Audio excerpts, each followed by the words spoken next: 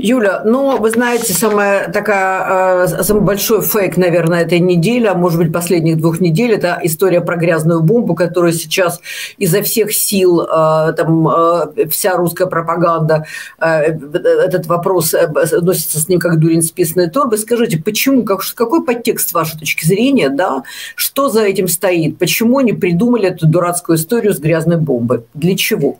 Слушайте, тут уже в Твиттере по этому поводу столько мемов. Последнее, что я прочла, это э, звонит кто-то, говорит, алло, я хочу вам рассказать э, про грязную бомбу.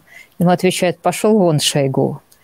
А, то есть э, при том, что я не сомневаюсь, что они в Крыму, в Кремле, простите, достаточно отмороженные на голову, а, чтобы действительно применить ядерное оружие, когда Путин поймет, что он загнан в угол. Но поскольку он сейчас вряд ли считает себя загнанным в угол, то это носит характер настолько шутовского блефа, а, что, в общем, наверное, снижает опасность всей угрозы в целом. А, потому что ну, ну как-то совсем смешно.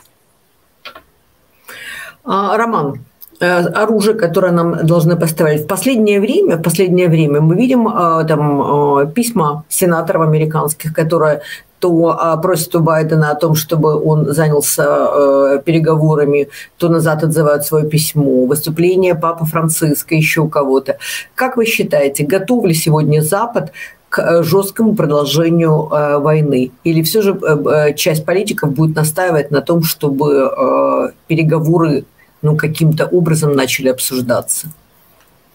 А, ничего нового не произошло. То есть все старые движения россиян по усаживанию украинцев за стол переговоров, а это равно капитуляции, продолжаются примерно те же самые лица и носятся с такими же, с одними и теми же посылами. И, естественно, их и посылают в одно и то же, в одно и то же место, по крайней мере, вслед за русским кораблем. Потому ничего из этого, из этого посыла россиян не выйдет. То есть примерно ситуация останется на том же уровне. Украинцы пока не выйдут на границу 91 года, ни о каких переговорах речи быть не может.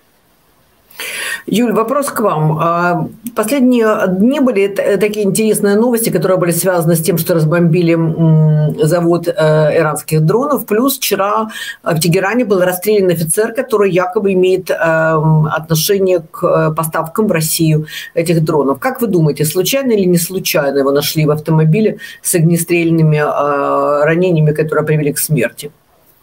Слушайте, про офицера к стыду своему сказать э, вообще ничего не могу. Э, хотя, насколько я понимаю, например, в 2020 году Израиль провел целую серию э, операций в Иране. Речь тогда шла об уничтожении тех людей или тех производственных мощностей, которые так или иначе имели отношение к ядерному оружию. И там в течение парой месяцев э, буквально каждые 2-3 дня что-то взрывалось или кого-то убивали. А, и израильтяне говорили, ну не, ну мы, конечно, ни при чем. А, так что это я к тому, что если кто-то этого товарища грохнул, то это точно сделал еще не ГУР. Так далеко ГУР еще не умеет.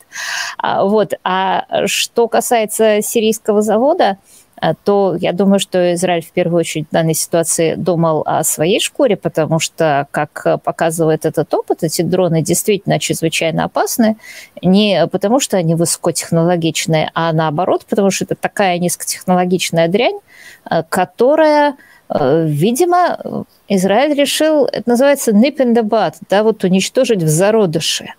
А, потому что гораздо дешевле одной а, ракетой долбануть всю фабрику, а, чем потом расходовать дорогие ракеты на то, чтобы этот трехкопеечный дрон уничтожить, хотя Израиль их до сих пор, насколько я понимаю, все перехватывал.